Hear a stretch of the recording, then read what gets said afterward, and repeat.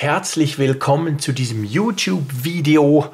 Heute packen wir zusammen die beiden neuen iPads von Apple aus. Das iPad Mini und das iPad 4, der Nachfolger des Retina ähm, iPad, welches ja erst im Mai in den Verkauf gelangte, aber jetzt schon durch einen Nachfolger abgelöst wird. Ja, ich war im Apple Store, habe zugeschlagen. Eigentlich wollte ich ja zugegebenermaßen nur ein iPad Mini. Dann dachte ich mir, naja, wenn schon, denn schon, schnappst du dir noch ein großes iPad, dann können wir das nämlich noch vergleichen mit dem direkten Vorgänger.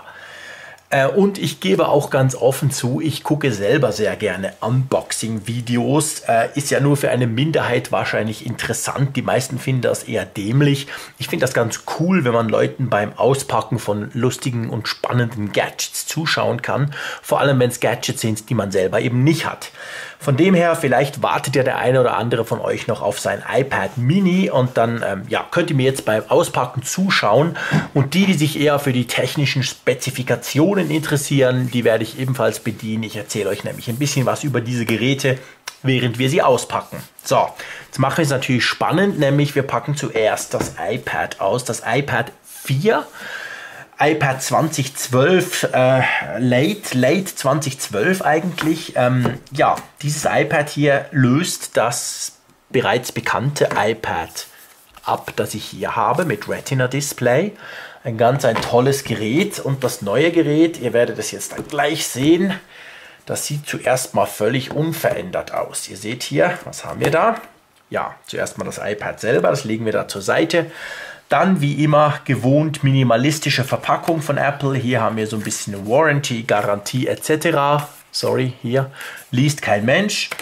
Äh, und dann hier natürlich ganz wichtig der USB-Anschluss bzw. das USB-Ladekabel mit Lightning Connector, weil ja auch das neue iPad einen Lightning Connector hat.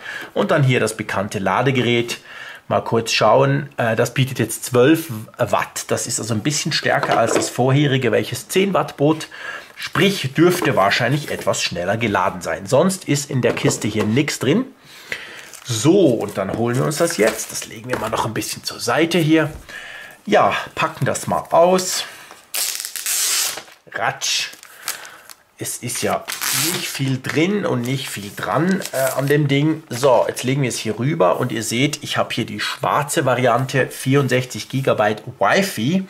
Wi-Fi ganz einfach aus dem Grund, ich versuche eigentlich immer, wenn möglich, wenn es 3G gibt, kaufe ich die 3G-Variante, weil ich dann unterwegs auch jederzeit ins Internet kann ohne Wireless LAN. Aber von den neuen iPads welcher übrigens heute in den ersten bekannt gegeben wurde, dass sie in den ersten drei Tagen bereits drei Millionen Mal verkauft wurde. Und das sind im Moment nur die Wi-Fi-Varianten, weil die, ähm, die 3G bzw. LTE-Variante, die gibt es dann erst Ende November, Anfang Dezember in den USA und dann irgendwann später dieses Jahres, das kann ja dann eigentlich nur noch im Dezember sein, im Rest of the World. Also, hier ist das iPad, sieht von außen, tja, genau gleich aus. Wir schauen mal. Hier ist der direkte Vorgänger ebenfalls. Ich nehme das mal ab, das Smart Cover. So, ihr seht hier natürlich gesperrte SIM-Karte. Also ich habe hier die 3G-Variante, was man ja hier oben an dem sieht. Aber sonst, wenn wir das jetzt mal deaktivieren, ja, die Dinger sehen genau gleich aus. Aber erster Unterschied ist natürlich mal die Kamera. Hier vorne beim neuen iPad hat es nämlich eine 720p FaceTime HD Kamera, also die ist ein bisschen besser als die hier, die ja nur VGA hatte. Erster Punkt. Zweiter Punkt. Wir haben beim iPad 4, beim Retina Display iPad hier unten jetzt natürlich auch den Lightning Connector. Wir schauen uns das mal so an, dann seht ihr das noch ein bisschen besser. Tja, ihr seht, braucht viel weniger Platz natürlich. Generell, ich nerv mich zwar, dass ich jetzt XX ganz viele Kabel neu brauche, weil ich überall Ladegeräte verstreut habe. Aber sonst grundsätzlich bin ich eigentlich froh. Ich finde den Lightning Connector auch beim iPhone 5, beim neuen iPod Touch und dann auch beim iPad Mini, wie ihr dann sehen werdet, eigentlich eine coole Sache. Das ist super, den kann man nicht mehr verkehrt rum einstecken, der ist viel robuster. Also eigentlich im Großen und Ganzen eine ganz clevere Sache. Wurde auch Zeit, dass Apple den mal geändert hat. Ja, Ansonsten, was ist neu daran? Wir haben den A6X-Chip drin, wohingegen im äh, alten, in Anführungszeichen bitte im letzten Retina-Display iPad war der A5X-Chip drin. Der A6X-Chip, der ist ungefähr doppelt so schnell. Erste Benchmark-Ergebnisse unterstreichen das auch. Also das neue iPad hier ist doppelt so schnell. Und ich kann euch sagen, ich hatte heute eine Präsentation von einem smarten ähm, Produktmanager aus England, der mir das gezeigt hat. Und ähm, der hatte eine Vorversion von Real Racing 3 drauf kommt jetzt dann irgendwann mal in den nächsten Wochen in den App Store. Real Racing ist ja ein Racing-Game, das immer so ein bisschen gebraucht wird, um den Power der neuen Apple-Geräte zu zeigen. Die sind immer ganz vorne mit dabei, wenn es darum geht, coole Grafik-Games zu machen. Ist ein, ist ein Rennspiel. Und das ist echt cool. Das hat wirklich das hat PlayStation-Niveau, PlayStation 4. Ähm, das sieht wirklich, äh Quatsch, was erzähle ich denn? PlayStation 3 natürlich. Ähm, das hat wirklich absolut geniale Grafik, Rückspiegel, Spiegelungen, Wasser und so weiter. Also das ist ganz genial. Das heißt, man merkt schon, die Grafikpower, die hier drin ist, die wurde nochmal massiv verbessert gegenüber diesem Modell. Ja, ohne dass dieses Modell jetzt gleich alt wirkt dagegen, aber ähm, man kann ganz tolle Sachen damit machen. So, das ist also wie gesagt das iPad 4, das aktuelle iPad mit Retina Display. Das lege ich jetzt mal hier zur Seite. Und dann, ihr freut euch ja vor allem auf das, ich gebe es zu, auch ich, mir geht es ja auch so, ein kleines Schnuckelchen. Ähm, iPad Mini, 64 GB, weiß WLAN, weil auch dieses im Moment WLAN-only zu haben ist. So, und ich kann euch sagen, mir ging es jedenfalls so und ich denke euch wahrscheinlich auch. Das Ding ist great. Das ist wirklich ganz, ganz cool, weil es ist wahnsinnig leicht. Man liest viel drüber. Ich habe schon die Keynote gesehen und diverse andere Videos und man denkt, ja, okay, ist ein bisschen kleiner, wahrscheinlich auch ein bisschen leichter. Aber hey, es ist extrem viel leichter. Es ist wirklich super leicht.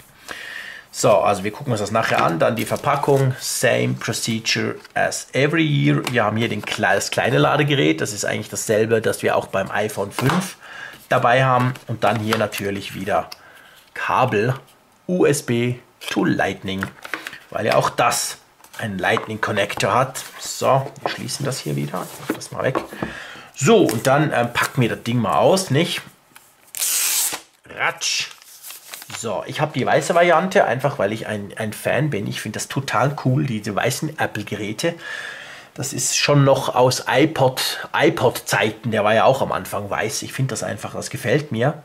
Ja, und ich kann euch sagen, ein wunderschönes Gerät. Schaut euch das mal an hier. Wenn man hier dieses Finish anguckt, ist genau gleich wie beim iPhone. Der Lightning Connector rundherum, die beiden Stereo-Lautsprecher. Und dann auch hier, wenn ihr das so anschaut, ich weiß nicht, ob man es in der Kamera sieht, extrem edel gemacht hier, wie das übergeht in den, in den Screen, in den Touchscreen. Und dann der große, große Touchscreen. Ähm, technisch entspricht das iPad Mini eigentlich dem iPad 2. Das heißt, wir haben einen Dual-Core-Prozessor A5 drin. Wir haben gleichzeitig ein Display mit 1024 x 768 Auflösung. 7,9 Zoll groß ist das ganze Ding hier. Wir haben hier eine FaceTime HD-Kamera und hier hinten eine 5-Megapixel-Kamera mit Autofokus. Also eigentlich ganz gut ausgestattet das Teil und hier auf der Seite, wenn wir uns das noch anschauen, hier die Lautstärkeregelung und die ähm, Portrait Mode oder die ähm, äh, quasi Off-Switch, dass es, dass es still wird. Das kann man ja einstellen, was diese Taste hier machen soll. Die sind jetzt neu aus Aluminium. Also nicht mehr wie beim anderen iPad hier aus Plastik, wie es das schon länger ja war, sondern die wurden jetzt neu hier aus Aluminium gefertigt. Und es sieht wirklich extrem schnickig aus. So, ich werfe das mal an. Mal gucken. Ist ja soweit vorgeladen, dass man es einrichten kann. Das äh, mache ich jetzt aber nicht, sondern ich lege es mal hier am ab und zeige euch noch, was ich dazu mir noch geholt habe. Das ist das iPad Mini Smart Cover. Gibt es natürlich auch dazu, die bekannten Smart Covers. Und dieses hier ist natürlich entsprechend auf die Größe des iPad Mini gelenkt. So, jetzt zeige ich euch mal live im Video, dass ich nie weiß, wie man die Dinger öffnet. Es gibt irgendeinen ganzen cleveren Mechanismus, wie man es machen kann, ohne dass man murkst. Aber ganz ehrlich gesagt, ich murkse immer, weil ich keine Ahnung habe, wie das eigentlich funktioniert. Also reiße ich da einfach dran rum und dann geht so. Einmal habe ich es geschafft. Das geht ganz leicht, wenn man weiß wie, aber ich weiß halt nicht wie. So, hier ist das ähm, Smart Cover.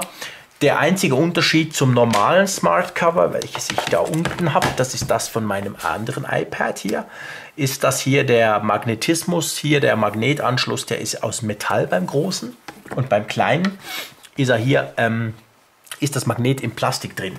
Funktioniert aber genau gleich. Guckt mal, klack, habt ihr es gehört? Zu. So, closed, drauf und sitzt. Schaltet natürlich genauso auch das iPad an und aus und ihr seht jetzt hier, bin ich jetzt im Registrierscreen, kann ich das ganze Ding jetzt einrichten, mir aus der iCloud zum, zum Beispiel ein Backup zurückspielen lassen. Ja, mache ich natürlich alles. Selbstverständlich werde ich dieses iPad Mini hier mit dem Nexus 7, dem kleinen 7 Zoll Tablet von Google vergleichen. Selbstverständlich vergleiche ich das mit dem großen iPad. Selbstverständlich vergleiche ich das große iPad mit seinem direkten Vorgänger und so weiter und so weiter. Da werde ich wohl noch das ein oder andere Video dazu drehen und dann natürlich auf eifrig.ch darüber berichten. Aber das war mal nur so ein erster kleiner Test. Wirklich, ich sage es euch nochmal, wenn ihr nicht sicher seid, ob das iPad Mini vielleicht nicht doch so eine gute Idee wäre für euch, geht mal in den Apple Store, holt euch so ein Teil bzw. nehmt es in die Hand. Mir ging es auch so, ich habe viel drüber gelesen, habe es gesehen schon in diversen Videos, dachte, ja, das ist cool, das will ich vielleicht mal haben. Aber die echte Faszination dieses Teils, die kommt wirklich erst, wenn man es in die Hand nimmt. Es ist unglaublich leicht, es ist wahnsinnig dünn, es liegt super gut in der Hand, also wirklich klasse. Metall, Aluminium Body hinten, Unibody, also ganz, ganz cool. Und das Display, so, weit, so viel kann ich euch auch schon verraten, das ist wirklich gorgeous. Der, der smarte Engländer hat gesagt, ah, it's a gorgeous Display. Und er hatte recht, es sieht wirklich ganz, ganz klasse aus. Äh, überhaupt nichts von, oh, das ist doch kein Retina-Display, das kann man doch nicht brauchen. Das ist Quatsch, das braucht man auch nicht auf 7,9 Zoll. Beziehungsweise, wenn Apple das hätte einbauen wollen, dann hätte man das Teil hier nicht für 350 Schweizer Franken kaufen können, sondern dann wäre das doppelt so teuer wahrscheinlich. Drum kein Retina-Display ist aber überhaupt kein Problem, braucht es eigentlich nicht, weil, wie gesagt, man hat die 1024 768er Auflösung und mit dieser Auflösung ist sichergestellt, dass sämtliche Apps, alle 275.000 Apps, welche es fürs iPad gibt, laufen da drauf, ohne dass der Programmierer, der Entwickler noch irgendwas ändern muss dran. Das ist ein Riesenvorteil. Also alle Apps, die auf dem iPad 2 laufen, laufen auch auf dem iPad Mini.